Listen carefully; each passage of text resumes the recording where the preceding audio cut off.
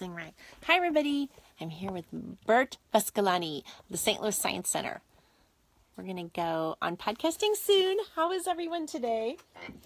Um, I was in Seattle, Oh, their yeah. science center, yeah. and Pacific Science Center. uh, yeah, Yeah. I think that was it. And they had the um, the Terracotta Warriors. Oh, yeah. That's been great. That was cool.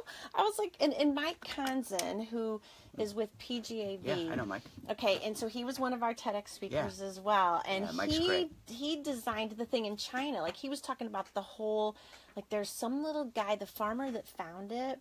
He will hide his face from people, and and then you into in. But if the whole idea is you have to pay him to get a picture with him. Hmm. So that's how this dude's making his money. Well, He's like, you look, know, I found that uh, we, thing. we had the movie at our Omnimax theater, okay. and it was people love it, right? It's a great Yeah, story. It's uh, amazing. it's an amazing uh, discovery in itself, and and then to think about these warriors, these little terracotta warriors, and how many, and and like, the reason for them, and Thousands. so It was crazy how many Yeah. there were. yeah, it was really it's and a neat story. they were painted. Yeah, So then the paint came off, however they did it, whenever. But um, and but I was like, really? They were all painted and everything, Yeah. and Well, you know, you, you got to remember that paint at that time was all natural, right? There weren't any petroleum products Right, in the, in the right. paint, so it was probably dyes and you know and things from natural vegetation and so to on. do with the tree sap. They were Oh, saying yeah, that they were they yeah. mixed it with tree sap, that and that when sense. that sort of just kind of melted off or Yeah. something. And but I can't even imagine. I mean, I'm just trying to imagine them going. Let's build this many warriors for this king, yeah, you know, and yeah. No one's building warriors for me. no. I? Those I are need some of the lost things, right? The lost things that we would really love to have back. right. When I'm dead, I actually don't think I'd care. Yeah, but, I wouldn't But either. still, you just wonder, like, he's so great. We're going to build this many, Yeah. you know? I mean, and all these, I, I don't know. Did they just not, I guess they didn't have a lot to do back Well, then. So I it's will like, let's you. build a bunch of warriors for him. Yeah, I mean, we have the King Tut exhibit on right now at the. At I the saw Science that. Center. I went and saw that. Yes. Yeah, and um, imagine that. You know, from nine years old to nineteen right. is this king, pharaoh, whatever, and he has all these riches and all these, you know, people working for him and so on. I don't know. My child at nine years old.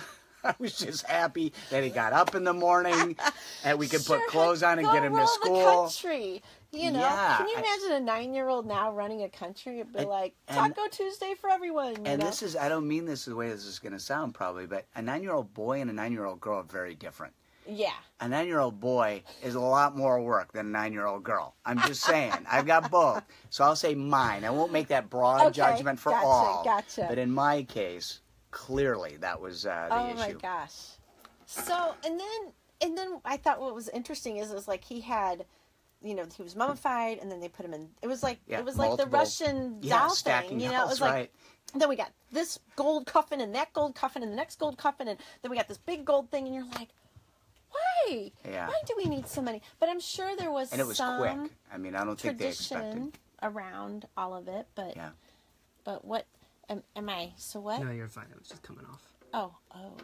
I thought, wait, are these so new that now they're like, Yeah. put them far away special. from you? Right. no. Far away microphones. Same microphone. Like, miss, you're talking too loud. No. Well, I think I'm ready to go. All so, right. Just so you know, I'm sure you've used plenty of microphones before, but these are very directional, so you'll just want to keep it pretty I'm close to your mouth, this. pointed Look right at, at your oh, mouth. see, Yeah, look, everybody. Yeah, Show off the new, the new digs. I know. Our, our owner was so proud of those. He was like, check these out. But I think that's like, a good uh, idea, especially with people doing the live streaming now Right, and all absolutely. A lot that. of You gotta, that. right? I think it's awesome. Gotta get your logo in places. Yeah. Right. It's kind of like a beer pull at a bar, right? I mean, you got to have a pull, and it's got to have your You gotta know what flavor we are. right, something like that. Something like that. All right, so you might want to come a little bit Sure. closer now that I'm Sure, let looking me at this. pull this over. Yep. All right, good. And do we need to do sound check or anything? You sound good. I think everyone sounds great, so. Don't we though? Yay us! One better than the other. Hooray for us! And thank you so much for coming to do this. Oh, absolutely. My pleasure. so It was much. fun. Are you excited about Yeah. the TEDx thing? Yeah, really. I love it. It has been an absolute joy to do it. It's like I one of my favorite things about my life. Oh, that's great. you know, and it's so funny because, and Steve will tell you, when Steve decided to do this whole TEDx thing, and he, so he called his brother, Bob Summers, who lives in Hawaii, Mm-hmm. but I had met Bob here. We were part of a marketing thing together, and um, he called Bob and was like, "Yeah, and I'm doing this, and I don't know, I need some help. I, I, I wish I knew somebody that did social media." And that was the whole thing. And and Bob was like, "Oh, Miss Hancock, you should talk to her. She knows about social media, and she knows a lot of people. I bet you she'd be great at this." Having no idea, they had no idea that I had been saying for years to my family, "This TED thing's going to be a thing with me." I don't know what it is. I, I want it. I like right? got it. I was like, I was like, I was like, it's, it's gonna happen. I don't know what it means though, and and I've learned that you never ever put, you don't ever like form a picture in your mind because then you might miss something. So you just let the universe bring it to you.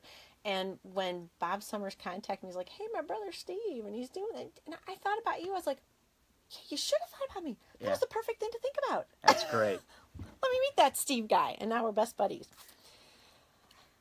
I will stop talking. No. I will start. I will. I will introduce. You tell me when you're ready. Okay. Ready? Oh, did we explain the whole time thing? No, I haven't. We should do that. So there's three nine-minute sections. Don't worry if we go a little bit over. No Yeah. biggie, right? Um, and so the first two are you and I chit chat, chit chat, and then the last part is I get to ask you some kind of funky questions. Sure, yeah, Easy. great. Yeah. All within your realm. It's all right. I Take can them handle it. wherever you go, Yep. wherever you wish. It's nothing, you know, like I'm not stumping.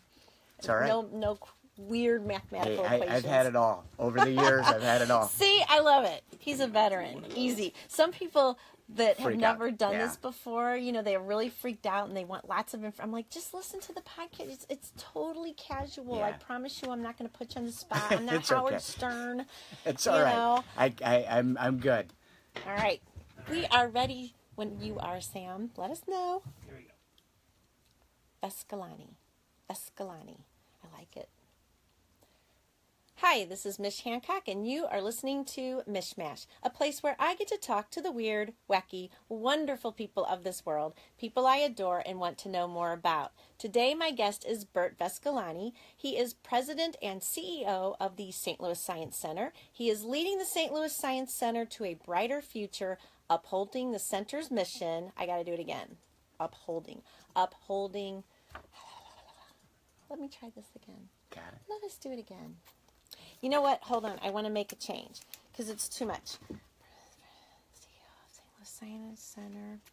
He is leading the center. I'm not going to say St. Louis Science Center. He is leading the center to a brighter future, upholding the center's mission. To, okay, got it. I've done this before, I promise. Uh, it's all right. Hi, this is Mich Hancock, and you are listening to MichMash, a place where I get to talk to the weird, wacky, and wonderful people of this world, people I adore and want to know more about. Today, my guest is Bert Vescolani. He is the president and CEO of the St. Louis Science Center. He is leading the center to a brighter future, upholding the center's mission to ignite and sustain lifelong science and technology learning. Welcome, Bert. Hey, it's great to be here. Thanks Thank you so me. much for being here. So, how long have you been with the Science Center? Well, December will be six years. Really? Yeah. Really? What's the most exciting thing that's happened there in six years? Well, we've built some new exhibits. We've done some new uh, um, renovations and changes to the, the Science Center. So those are always fun. We last Right. year we opened our Grow exhibit. It's our largest exhibit expansion in our history. Uh, it was a indoor outdoor story about food and where your food comes Ah, from. yes, gotcha. and because this region's so rich you know in, in, in the parts of the food process from Right. processing to picking to growing to you know all the, the pieces and parts of the, the whole cycle uh, it, it seemed like an obvious story for us so it's been great and we have big combine in there we've got you know water play space a seed library there's all kinds of wacky A stuff in there seed library. Yeah. That's kind of cool. yeah it's really cool So, um, we had on one of our past speakers was Dr. Jim Carrington. yeah he's awesome Right? Yeah. And so and his whole thing around food. Food is such a huge subject. I mean, it always has been, but now the big subject is can we feed everybody that's showing up here on earth? Right. I mean, there's there's that part which is clear, right? And Right. we're producing more food than we ever have. Right. And, and at a faster pace with more challenges than ever. Um, there's a whole food safety piece of this as well. Got- yeah. Um, you know, if you think about a crisis taking place and wiping out a chunk of the Midwest uh, for one reason or another, uh, you That know, would not be whatever it might be, it would be bad. Not not just for us here in the Midwest, but it would be bad for a lot of um, people that depend on the produce the production that we have. Right. You know, lower state Missouri down the Bootheel, there's a high level of rice production. I think we're the fourth largest producer of Really? rice. Yeah. Okay, I had no idea. I know it. I, I didn't either until we built this exhibit.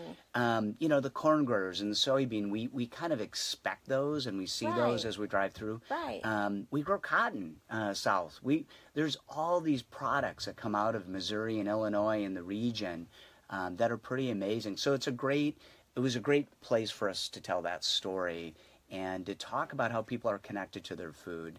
Um, Jim's work out at Danforth Plant Science Center and what they're doing gives us kind of the science that we can feed our public with and and show them a little bit about there's some really cool things happening and science is super important to our survival. Yeah, well, yes, of course. And so, with the food thing, um, does the exhibit talk anything about hydroponics? Because I, I just We had do. on another guest that was Yeah. she's starting a whole hybrid hydroponics thing, and and it sounds like that's a very efficient way Yeah. to grow food. It, I think it's getting better and better. So hydroponics and aquaponics and the combinations of, of different, I don't think any one is perfect. Um, all of them in combination can create a really unique opportunity. And it depends where you are. If you're in an urban setting or a more rural setting, what part of the country do you live in? You know, what access do you have to water? What what access do you have to uh, other resources that might be available? How much sun do you get a year? All of those are Yeah, factors in, in thinking about the combinations of what you would use and where you would use it. In Midwest, we have great soil. We have relatively available water. Mm-hmm. We have lots of water. We do. Um, Well, I and mean, we really need to be thankful for that. We do because there's lots of other places that aren't so great with Sometimes water. we get too much water, almost like We you know, do. don't you wish you could say, "Hello, Mother Nature, Yeah. can we spread this out a bit?" yeah, give it to someone else for just a little while. Just we a need little it back. We want it back. Right. we need it for things. Yeah, it's um, it's one of those things that uh, makes Midwest great. Uh, you know, it makes us uh, provides us an opportunity to do things where other places of the world cannot. And Right. uh, and so we've got to take advantage of that and, and do it responsibly, of course, and, and think about what that, that entails. But you know, at the Science Center, we're trying to tell those stories. Mm-hmm. So we're trying to find maybe the things that aren't so cool that could be really cool, but people just don't know enough about them. Well, yeah. I mean, just th- that whole subject of rice. I mean, I literally had no idea. It's, it's Yeah. practically in our backyard, and we don't even know this. Absolutely. And you got to learn about it somewhere. So thank Yeah. you, Science Center, for Yeah, that. yeah, we love to have. and you came from Shedd Aquarium, correctly? Yeah, I ran. I actually ran a zoo before I came here. Oh, okay. In Grand Rapids, Michigan. All right. Uh, called John Ball Zoo, John uh, Ball John Ball Zoo. Park, and John Ball Zoo, and then I was at Shedd Aquarium before that uh, for about 14 years. So that's Oh, really got where. I got into the you know kind of nonprofit, uh, informal learning education Right. experience, museum world, if you will. And so, from so tell me about the zoo. I mean, tell It me. was great. The zoos are so awesome, Yeah. right? I mean, and you know our zoo. Yeah, it's obviously great we've got an awesome Yeah. zoo. So tell me about like, was there a, an animal that you felt like you connected with there, or You know, everyone would ask that question really? when I was both Dang at that. when I, was at, thinking I'm I all you know. know unique and such. Well, you're not going to be so happy with my answer. I, I think. okay, let's um, not talk about. No, I'm kidding. yeah, I think there's uh, both at the aquarium and at the zoo. There's animals that I thought were really cool Mm-hmm. and had um, some great education impact opportunities. Okay. And those are the ones I had some kind of affinity towards, if Right. you will.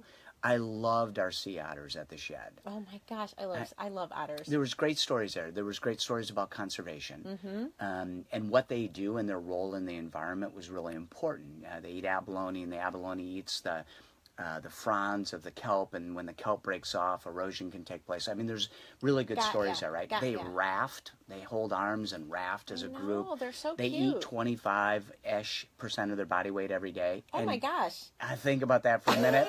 Uh, that's a lot of food. and they're just cool, they're cool critters, right? Well, they're and they're way cute. My daughter wanted one. We were we were in Seattle at they're their they're science cute from afar. Well, and that's what I told her. I said, I don't think they're they're pets. No. you can't. I don't think this is something. Especially, can you imagine how much food you'd have to buy? Them? yeah, it's it, it's you know so that that was one of my, I love the beluga whales. I love some of the other animals, but and some of the more uh, unique animals like cuttlefish and things that were like people didn't really quite. We had a seahorse exhibit that was amazing. Uh, we I think I saw that, Oh, and that was amazing. Seahorse Symphony was the name of it. It was fantastic exhibit. You know, the sharks are the sexy ones and the Right. dolphins are the sexy ones. but there's all these other critters that live in the ocean that are pretty special and and Cuttlefish are amazing. I mean, they they're like they're like Amazing. octopus, right? Because they can just change Yeah, all their yeah. colors. Now, I've I've actually um, been snorkeling. Yeah, With cuttlefish, and Yeah. the and the first time I saw one, it looked like a weird little alien guy. I'm like, Yeah. "What are you?" And then because he was making all these weird, you know, colors and everything. And then when I got around to another perspective, I'm like, "Oh, it's a cuttlefish. I get it now. I didn't know what the heck it was at first. Yeah, and we know, you know, we still don't know very much about our ocean. We were learning Right. so much about it. We we've only been to the bottom of the ocean in some spots at a very. I mean, we know more about the surface of the moon than we know about the bottom of the ocean. Exactly. So that was exciting for me. And there's great conservation stories and really important things to remember about our oceans and how much we depend on them. Right. So then you pivot to the zoo, and the zoo. Uh, I, you know, I got to tell you, there was one critter after another that you would get connected to. Um, we had when we brought our lemurs in. Um, the lemurs were they're just the coolest little guys. I mean, I got to tell you. And uh, they were really fun. You know, the tigers and lions. We built a lion exhibit while I was there, and and redid some other exhibits uh, that made some changes uh, for the you know for the visitors and and for the animals to make it better habitats. Right. We've learned a lot about animals and what they need, um, and there's still more to learn. And trying to build the best habitats both for the animals and for the people who are Which visiting. be so challenging because don't It you is. again let's talk about food don't you have to figure out what food to grow for them or where to get the food i mean Yeah. it's not like the lion food is available in, Yeah. in michigan It's not right? at Schnucks. You don't right. go to you Schnucks can't just go where's the lion food section? Yeah. And you know and it's got to be a particular diet. They want to do the right things. We've learned more about animal nutrition with animals uh, in zoos and zoological settings exotic animals if you will. And so over time you as you learn those things you can can do some some you know kind of pretty interesting changes in diets and things like that. Um, the reproductive biology uh, that's happening in zoos to create opportunities for conservation to take place um, Right. is is fantastic. We learn more and more about those animals. A lot of the the treatments and and opportunities in the wild start really in zoos to to get um, Oh, cool. a better didn't know that. understanding, and then you you can take those out into the field, if you will. So.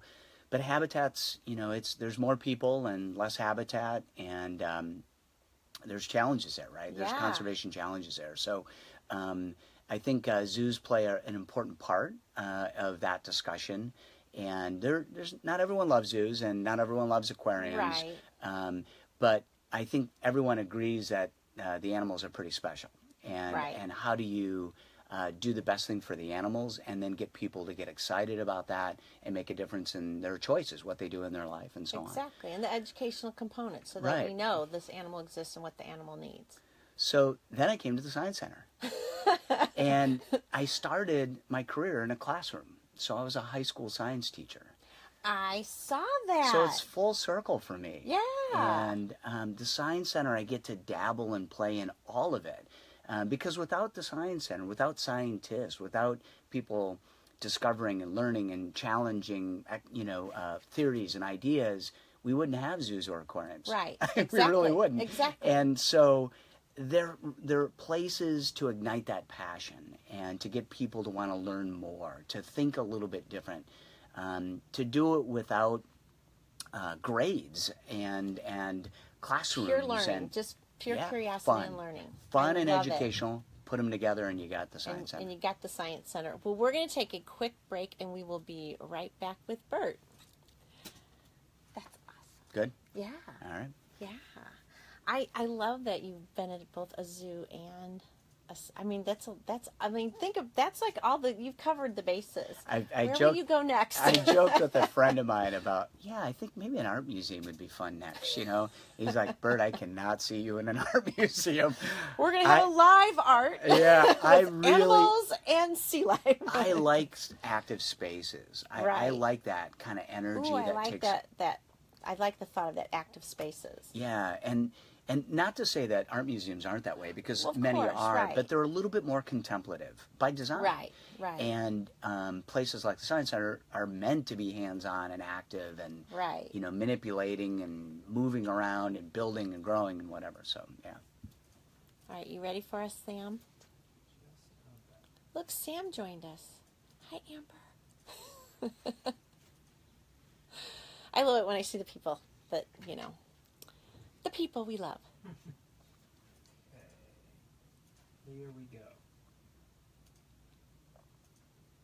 And we are back with Bert Vescolani, and we've been talking about all the amazing things that you have been doing over the years. So let's go back to science teacher. Yeah. Okay, were you the coolest science teacher? I mean, Well, I mean, I'm imagining. You'd have to ask my students.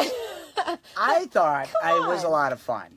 Um, now that all might be in my head. I, I think what happens when you first start teaching, and and I, every teacher's a little bit different, but you're unconsciously incompetent. I mean, you just don't know what you don't know. Right. You you don't know how to manage a classroom. You you know their content usually. You have a pretty good understanding of that, but you don't know how to layer it and and build upon experiences and so on. And then you get consciously incompetent and you start to go, I got to figure this out. And then you figure it out. Right. And so for some, that's a longer journey, and some, it's a shorter journey. Uh, for me, I, I had a, a great opportunity to tinker and play and try new things.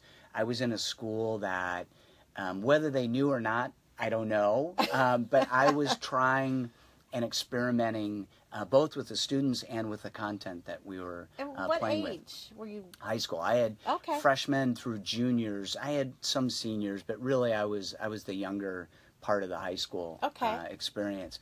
And I taught a little bit of everything. Um, I taught some stuff that I really didn't know much about, and, and I literally went back to school and tried to catch up, you know, oh, to try to teach it Yeah. and I got I, I would say that it's not my advice for most teachers, but it was awesome because I instead of just learning it, I was learning it to teach it, Right. and I was thinking about it while you know. So I'm I'm learning um, physical geography, which I had no experience in, in in college about. I was a biology guy, right? Right. And so physical geography. So as I'm learning physical geography, I'm thinking, how am I going to teach this? This seems boring. This seems cool. This seems, you know, and you're, and so I was constantly um, sorting it in my head, which was a different way to learn for me, Right. right? Yeah, and right. and kind of a unique way to do it. So that was fun.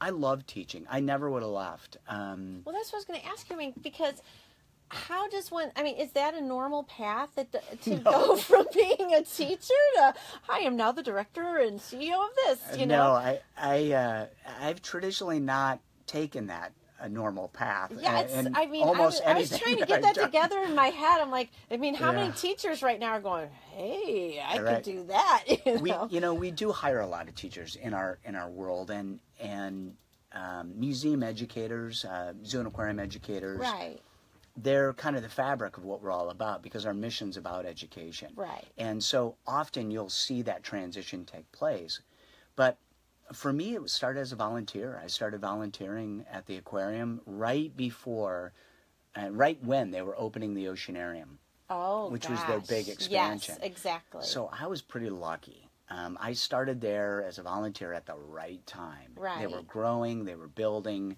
Um, there was a lot of excitement about the aquarium at the time. You know, there still is a lot of excitement about the corner. It's a phenomenal well, it's place. an amazing. The Yeah. oceanarium's amazing, Yeah. and then it looks out over the lake, and it's just Gorgeous. it's incredible. Yeah, It's in the beluga whales. Oh my gosh, those are so They're cute. cute.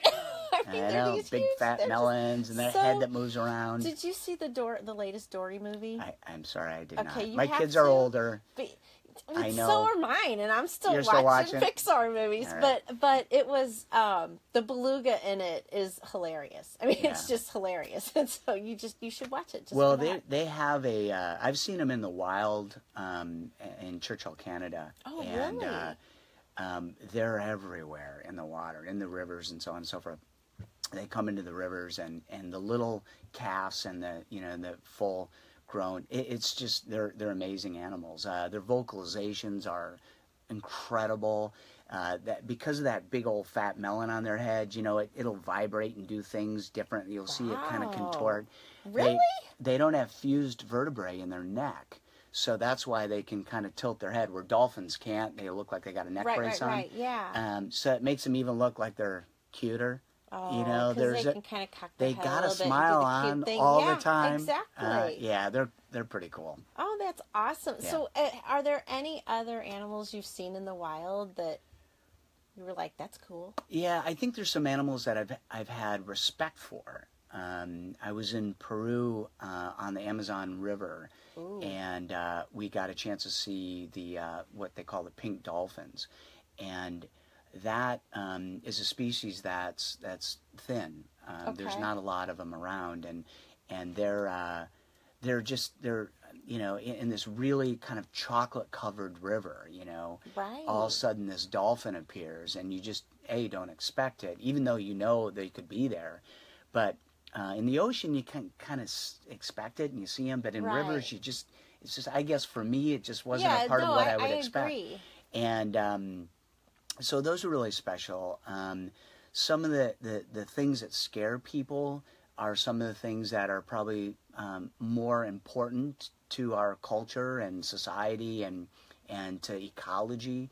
Um, like snakes and spiders and things that you know a lot of people freak right, out about. Right, right. Um, so you know, there's some there's some amazing animals are amazing, um, and and we know more about what animals do now um, through science, and the more investigation that we can make kind of into the intricacies of these animals and understand them better, the better we'll um, be able to protect them and save them and support them.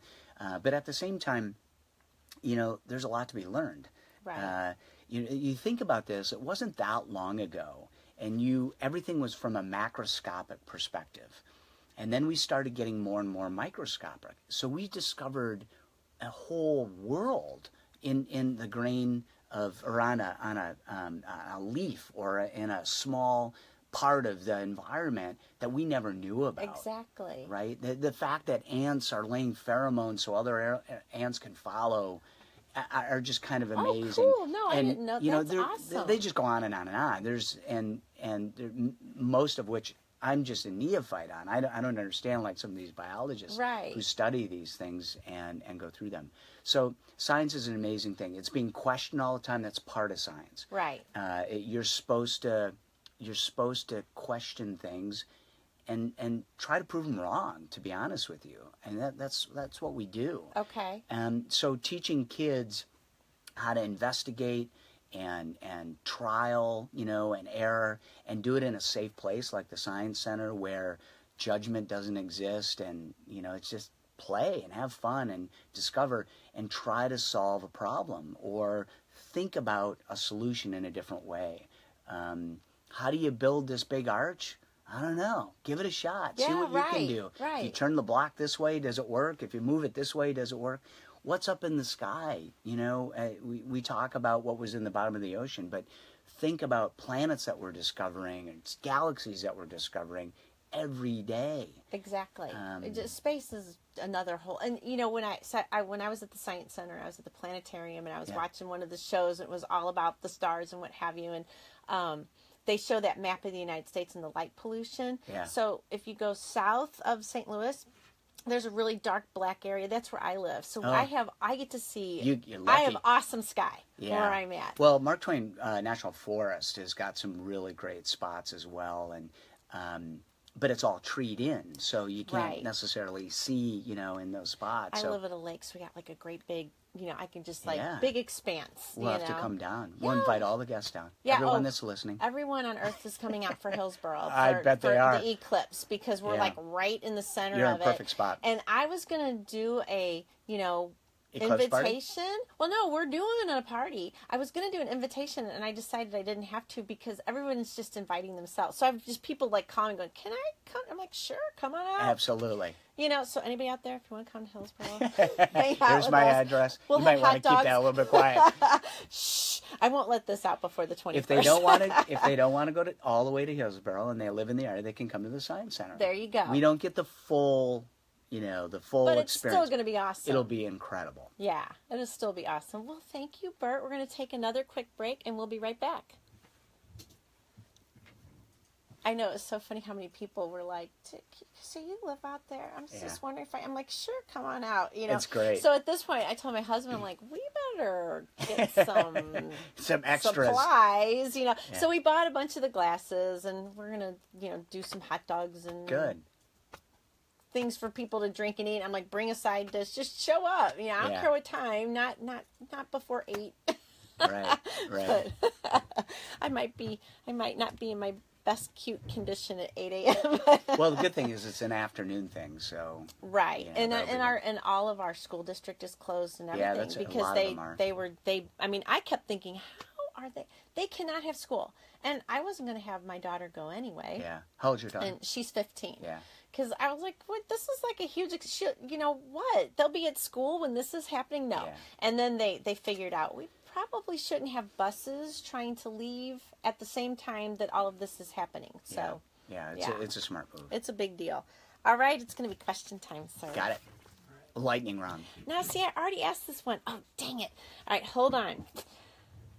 Ah, let's see here. I have to think of something. Something came to me when we were talking too.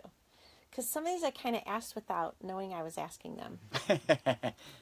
It's all right. They can be as spontaneous as you like. Yeah, yeah, yeah. All right, all right, all right. Okay, yep, I'm ready. Okay, here we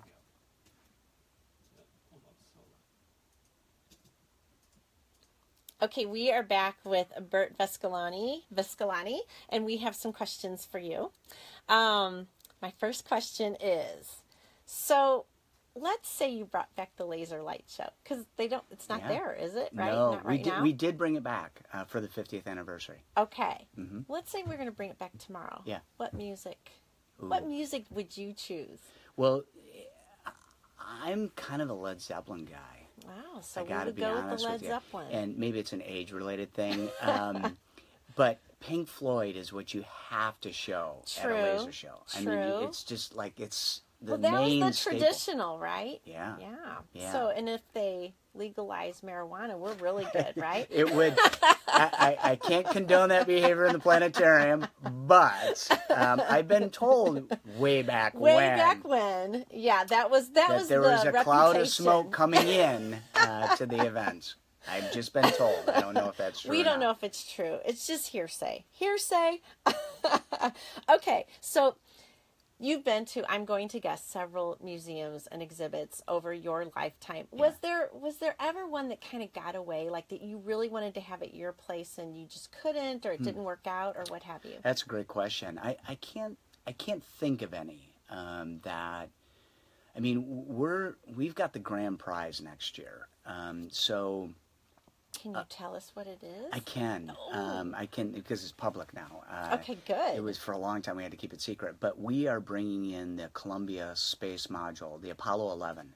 really? Um, it's the first time that it's been out of Smithsonian since um, it toured when it first landed. So it's been Oh, almost 50 years. And it'll be in um, Houston, St. Louis, Pittsburgh, and Seattle, and then it goes back. Oh wow. So we're the only Midwest location for that. Um, that that is the big grand prize for me. That's awesome. And the reason it is is because it's this thing in, in everyone's memory, um, and at certain age, really ingrained in their memory right. um, about this accomplishment that we did in the United States. This amazing feat that took so many people with so many discrete jobs without error to make it work. yeah. And you know, we think about you know just doing anything these days, and all the opportunities there are to screw it up, right? right, right. Yeah. and they did it, and they brought people back to Earth alive, and that that's incredible. It's an incredible story. And St. Louis played a huge part in it because the Mercury and Gemini capsules that led to the later Apollo missions started here, were built here by McDonnell Douglas. Ah, yeah, right. And so astronauts were trained here. People developed all the tools here that were later used. I There's- didn't know the astronauts were trained Oh, here. absolutely. There was a big group of astronauts that went through their initial training here in St. Louis. Now, later it was kind of hijacked by another city and place, and, you know, NASA did some things. But, you know, it, it really did start here. Um, and some of the most creative problem solving and solution oriented opportunities that were developed were developed right here in St. Louis. St. Louis has got a great deal of pride or should have in, in their role in the in the space program. And when when will that be here? That will be in their summer of 18.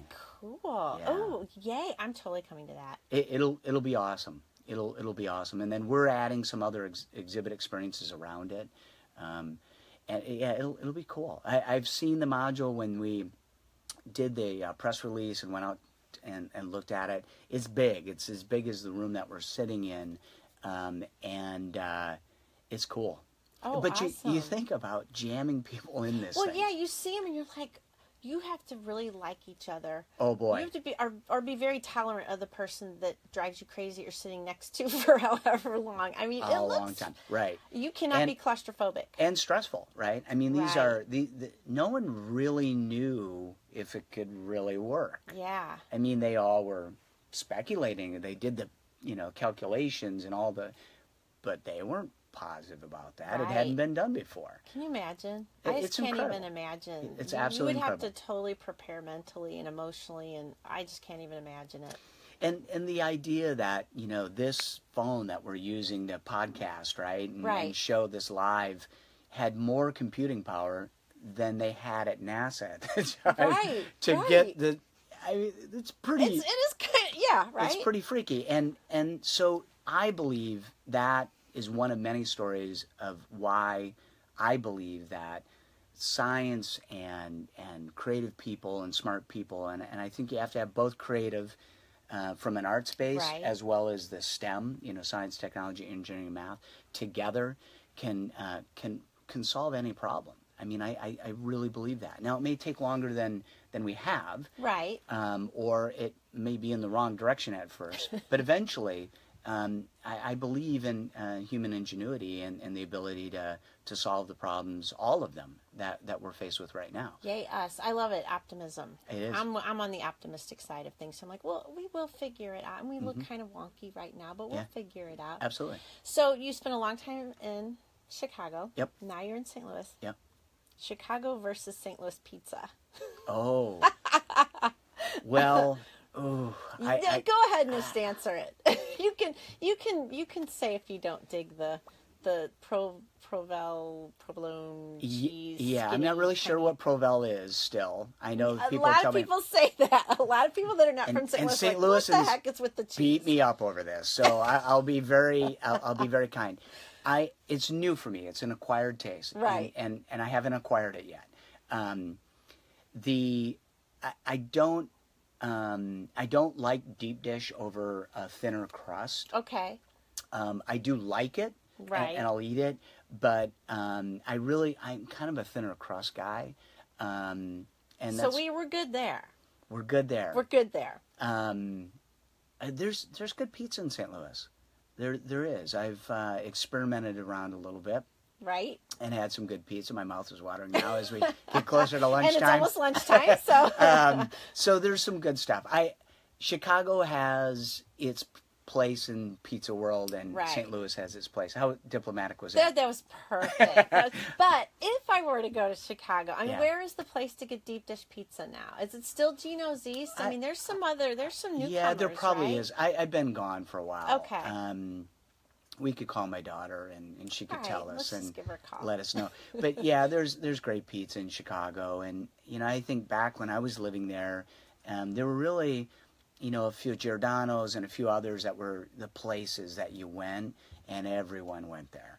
Ah, Um, gotcha. And then there was other places that did probably as well, but no one knew about. Right, right. The little hole in the wall place. Uh, Yeah, Taylor Street together. used to have, you know, that used to be a Little Italy in the in the olden days. I guess it still is a little bit, but uh, Taylor Street in Chicago was was the place that you go. It was kind of our version of the Hill. Gotcha. Although gotcha. I would say the Hill is far cooler than um, than Chicago's Taylor Street was. Really? Yeah. Awesome for us. Yeah, the Hill is awesome. The Hill is really awesome. It's it's a very special place. Have you been to Missouri Baking Company and gotten the cookies? Oh, Yeah.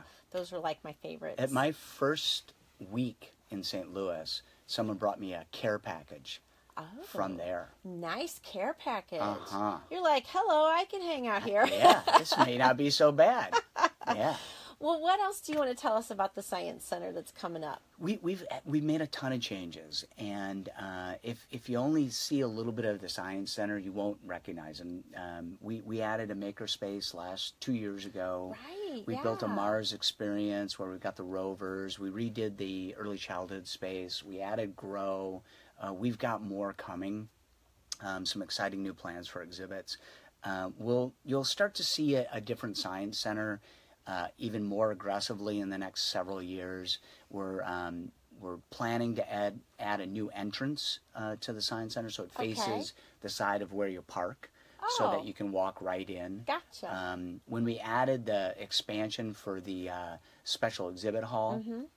um, that allows us to have King Tut and and uh, the Destination Moon is the name of the exhibit next year. Allows us to have those kinds of exhibits and opportunities, and we also do a ton of programming. Teachers are are coming to us more frequently than they have in the past, which is a great sign, and we built a lot of programs and opportunities for educators uh, that will make the experience at the Science Center richer and, and fuller for the students and for them to make it a, a better experience. We have a lot of partnerships. Um, we have a, a youth program that continues to take shape and with done with teens here in, in St. Louis, which is a great program that's been around for a long time. Um, it goes on and on and on. I, I'm very proud of our team. We're they're working hard and doing good things. Our guest satisfaction has never been higher. Um, our visitation is incredibly strong. Um, we see almost a, well, we see a million people a year through our doors, wow. And that puts us amongst a very small uh, group of science centers Really? uh, across the U.S. and the world. Uh, we're usually in the top 15 most attended in the world. oh, that's awesome. So, yeah, you know. St. Louis's Little Science Center has actually got a very big impact. We put 330,000 people through the planetarium. Really? Yeah. Wow. And so we've got a lot of, we- we've got some exciting things happening. Um, of course, the eclipse is happening in August. Yep. In September, we're going to uh, be na- making an announcement about something that we're doing around the planetarium that will be pretty exciting. And when I can talk about that, I will. All right. Uh, and yeah, there's more to come. And you are going to be a TEDx Gateway Arch speaker for our October 27th event. Um, so thank you for that, first of all. But and don't divulge too much Yeah. about what you're going to be talking about, but just about the experience so far of working with TEDx. It, it's been great. Uh, you know, I think a lot of us have uh, when when TEDx when TED first started, we started kind of those of us who like to learn Yes. and and get you know little snippets of information and kind of uh, small components.